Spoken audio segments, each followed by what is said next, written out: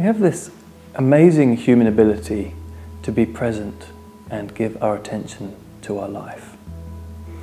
We also have this amazing human ability to be profoundly distracted and disturbed and busy by our relationship life, our work life, and our family life, for example.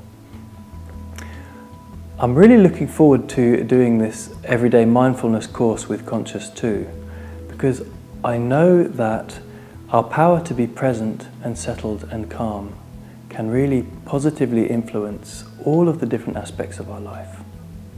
I know that we can learn with a certain kind of effort to find a place within of real calm, vitality and okayness. I really believe that if we learn how to find this place, it supports us to have good resilience in the face of all the challenges which are presented to us. Of the many responsibilities that we have to take care of.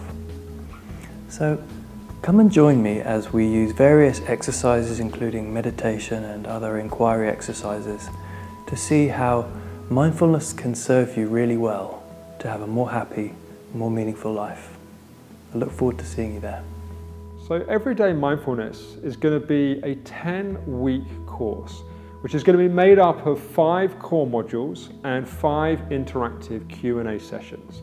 And you can either pay to register just for this one event, or by becoming a member of Conscious 2, you can have access to all of this event and our entire library of all the other events that we've done, including the Compassionate Mind, which is a three hour live workshop that we did with Paul. There are different options of how you can do that. You can either pay monthly or you can sign up for a year or so um, up front. But this is going to be a pretty unique way to go on a 10 week journey deeper into meditation and mindfulness that you can join wherever you are in the world. So you can either watch the Q&As live or you can follow them on the catch up and the core modules you can do at your own leisure.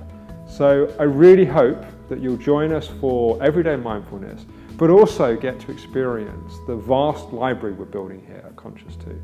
And we can support you in bringing more mindfulness into your daily life.